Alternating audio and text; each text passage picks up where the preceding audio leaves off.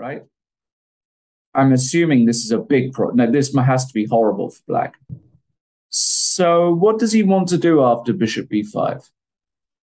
Well, I'm not really sure that black can really improve on this, yeah, because I don't don't feel like black will castle, but maybe black will castle. Maybe he just castles, yeah, maybe he just castles.